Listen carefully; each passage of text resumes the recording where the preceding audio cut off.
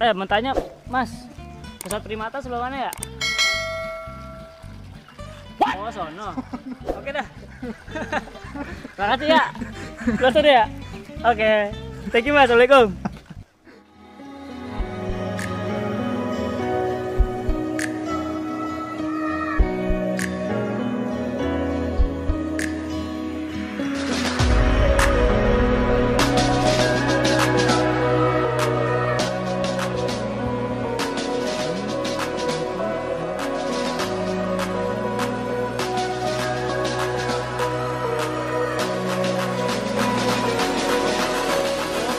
Jundu Channel. Hari ini gue sama Kile lagi jalan-jalan. Kita bakal bikin seri baru di Jundu Channel. Kita bakal jalan-jalan. Terus explore ya lah ya? Explore tempat-tempat wisata nggak cuma di Jakarta. Insya Allah nanti ke keliling Indonesia kita juga kan? Amin amin. keliling Indonesia. Nah hari ini kita lagi di Ragunan. Ragunan. gue tahu pasti lu bakal bilang nggak modal banget nih Iya. channel. Masa gitu ke eh, apa namanya jalan-jalannya ke Ragunan review? Enggak coy. enggak jadi Nggak justru gitu. justru lu gue bakal ngasih tahu lu kita tanpa modal yang besar tapi bakal dapat pengetahuan yang banyak. Betul. terhibur sama Bener suasana di sini. Suasana di sini juga gila lihat ini. Hutan. Adem kayak banget. hutan kota gitu sih sebetulnya di sini. Jadi walaupun dengan modal yang kecil gue bakal kasih tahu lu bahwa Ragunan ini worth it banget gitu. Dan semoga dari video ini bisa bermanfaat buat teman-teman semua biar tahu gimana sih Ragunan sebenarnya. betul. Kita lanjutin ya. Oke. langsung Ikutin kita. terus. cus guys banyak banget yang harus kita datengin kalau lu ke sini. Tuh lihat. Fasilitas juga lengkap ada kantin musola area parking segala macam hewan-hewannya mana lah sebelah sini kali. Oh ini dia nih hewan-hewannya. Tuh ada pos sapam kudanya segala macam Ya pokoknya banyak ya. jadi guys kita datang ke sini itu pas lagi masih pandemi corona. Jadi mengadopsi adaptasi kebiasaan baru ya, new Iya, normal. New normal. Kita harus pakai masker lihat nih, nggak patuh tuh. Nggak maksudnya kalau ada orang kita nggak boleh apa jaga jarak segala macam.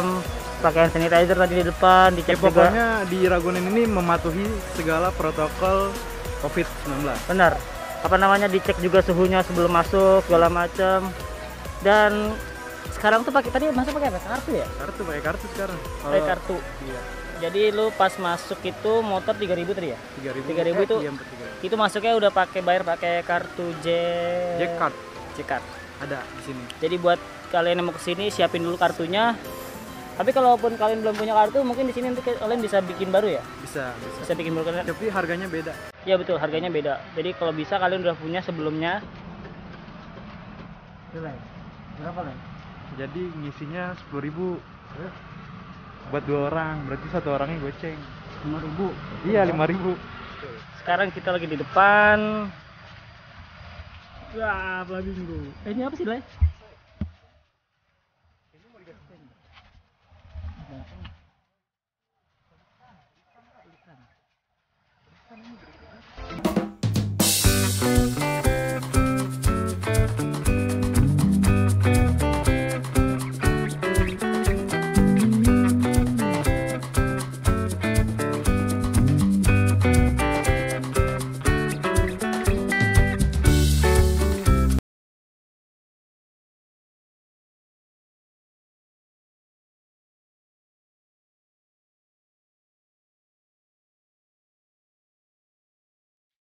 Kita sekarang sama pelikan.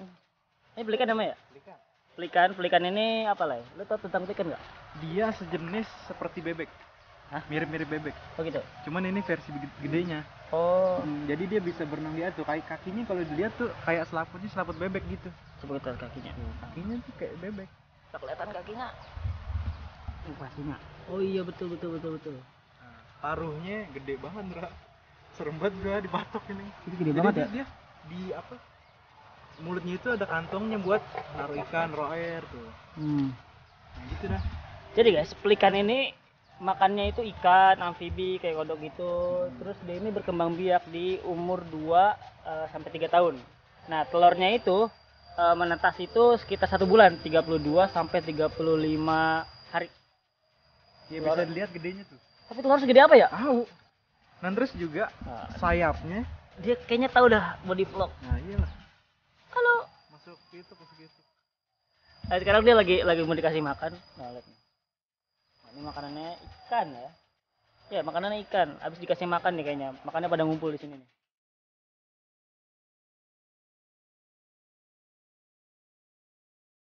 Sebetulnya Ragunan ini bukan taman marga satu pertama lah di Indonesia. oh gitu Taman marga satu pertama di Indonesia itu adanya di Cikini.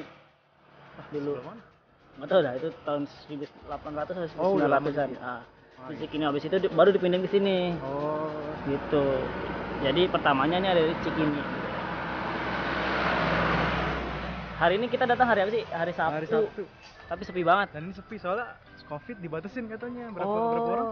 Nggak tahu dah oh jadi dibatasin, guys kapasitas orang yang mengunjungi Ragunan selama pandemi ini dibatasin? Waktunya juga dibatasin. Batasin. sampai jam satu doang. Kalau dulu sampai sore itu masih buka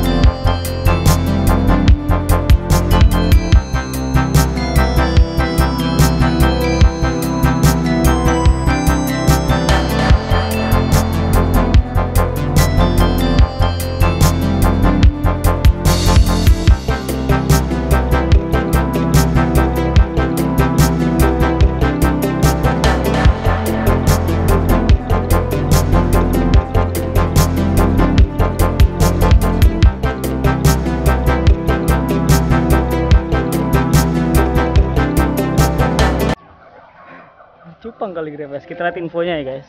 Apa nih? Uh, di sini disediain juga apa namanya informasi buat eh tunanetra orang yang nggak bisa lihat. Jadi dia bisa ngeraba-raba gitu informasi-informasi tentang merak hijau. Nah, nih merak hijau nih eh bulunya berwarna hijau keemasan. Hmm, bisa dilihat sih. Ya kayak gitulah. Status konservasinya dia masih terancam punah, guys. iya jadi nggak sembarangan orang piara Betul, harus ada izin ya pasti. kalau burung dara mah bebas Tapi burung dara bisa terancam punah nggak ya? ah nggak tahu kayaknya di Mekah gitu banyak tuh burung dara tuh. Mungkin ini tuh diburu karena kan mereka punya eh, apa bulu-bulu yang bagus tuh biasanya buat eh, hiasan rumah segala macam. Kasihan juga ya guys, makanya ada ragunan ini untuk eh, menjaga eksistensi mereka. Oke guys sekarang kita udah berada di kandang Lagi mandi asli beunya. Jalak Bali Lagi mandi. tuh. Beunya lagi mandi. Ini San. oh iya lagi mandi Kelihatan nggak coy? nggak tahu Kelihatan kali. nah itu tuh itu lagi mandi tuh Ah. dan malu nih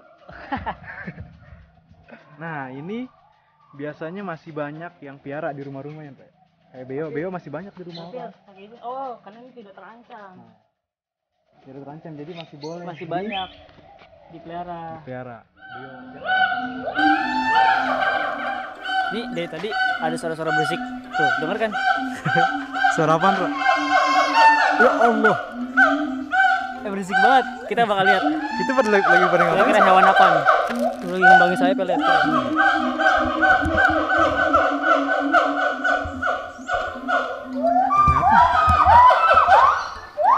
Kita bakal lihat hewan yang tadi bikin berisik. Eh, tiba-tiba berhenti. Berhenti. Kita omongin berhenti.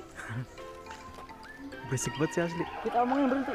oh di sana sih Oh, mereka saling saut-sautan ya kayaknya. oh dia lagi ini dia lagi nyanyi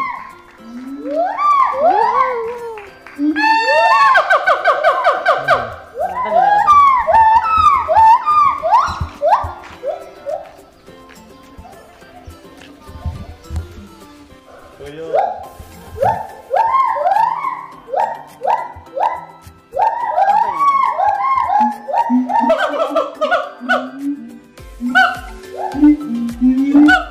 Jadi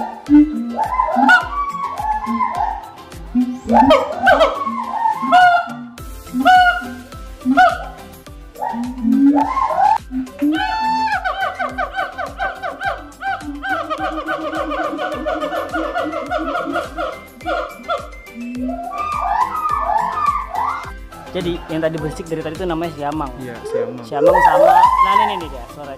yang tadi ini owa tangan hitam. Waung namanya. Berisik banget mereka ini. Waung. Ditepakin, ditepakin mereka langsung berisik gitu. Iya. Tadi siamang sih paling berisik berdua. Iya, dia jadi, Jadi suara-suara di Ragunan yang berisik itu dari siamang sama owa. Iya. Waung. Waung. Siapa yang ngasih nama waung sih ya? Tuh, tuh yang lagi loncat-loncatan tuh di atas. Hmm, ini yang ada di film nih. itu letuk sarung beda. Getung Kasarung tuh. Ini letuk Jawa guys. Nah, itu. Dia terlihat lebih santai daripada oh, dia nyamperin. Dia nyamperin. Namanya siapa namanya? Ah, diwawancara dulu ya. Siapa kamu Mas? namanya? Mas. Mas, namanya siapa, Mas? Mas. Ngomong dong, Mas. Mas. Namanya siapa? Eh. Kaget. Ya, nggak mau diwawancara deh, guys. Mungkin nanti ya. Nih, dia dia keluarga yang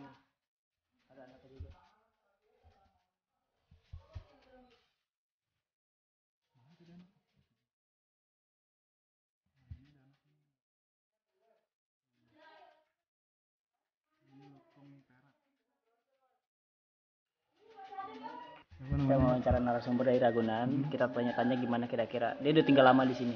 Jadi, ya, gimana Pak? Apa kabar? Namanya siapa? Apa kabar Pak? Oh, dari, oh iya. Ternyata dia eh, Bapak apa terinspirasi dari Limbat ya? Diam aja dia.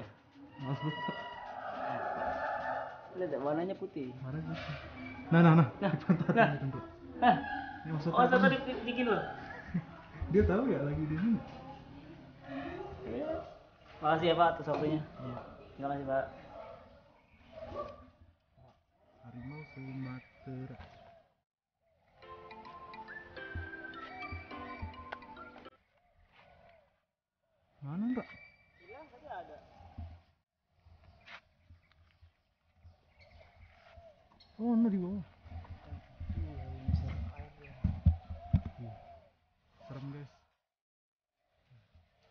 Jadi harimau Sumatera ini satu-satunya jenis harimau yang masih ada di Indonesia, guys. Cuman ada di Pulau Sumatera. Dulu kalau nggak salah Jawa juga punya eh, harimau tapi udah punah. Lihat gede banget. Gede banget. Tinggi. Galak.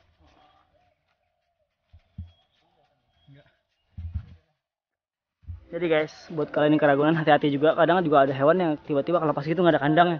Nih contohnya. Dia gak punya kandang kasihan dah. Kandang lu di mana? Nggak peduli dia. Jadi hati-hati guys. Tiba-tiba ada hewan yang gak ada kandangnya. Jadi kita sekarang eh, mau ketemu salah satu juga penghuni dari sini. Ini Iya. spesiesnya orang ya? Orang tapi udah lama tinggal di hutan. Iya. Jadi namanya orangutan. Dia yang apa ya? Lagi mandi ya? Bos, ngapain bos? Nyuci. Lagi nyuci Dendra. Nungguin air turun. Nggak nyelum kan? Iya nih. Tanya lo. Kaget juga ya? Jadi dia ini mamalia. Orang Oh jadi mamanya Lia? Hmm. Dia kebetulan dari Kalimantan. Statusnya tuh kritis terancam punah. Nggak ada keluarganya kali ya? Gak tau dah tuh. Dia hidup sampai paling lama tuh 59 tahun. Wah. Berarti bener-bener kayak orang. Iya ya? Iya benar ya? Iya. Eh, mau tanya, Mas, pesawat primata sebelah mana ya? Oh, sono. Oke dah. Makasih ya. Close ya. Oke. Thank you, Mas. Assalamualaikum. Dia, dia bener jawab Ra. Kayaknya dia tahu bener. Hah? Beneran tahu kayaknya. Jadi guys, tadi kan gua sama Kilai ke apa tempatnya orang hutan ya? Iya udah. Orang hutan. Terus tadi gua ajak ngobrol gitu. Ya pikir gua kayak bercanda aja. Yang ngobrol terus gua tanya, "E, Mas, Mas, eh, pesawat primata di mana? Kayak nunjuk gitu. Apa karena mungkin hewan itu kan makhluk Allah juga ya? dia mungkin ada punya feeling kali ya entahlah nanti ditunjuk nanti ada orang sering nanya dia dah.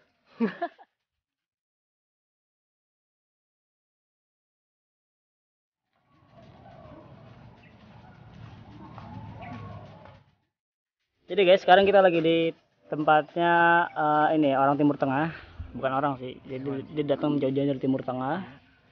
Dia kita tes aja ya, apakah bahasa Arabnya masih lancar, oke? Okay? Kita jawab salam, kita salam dulu apa dijawab ini?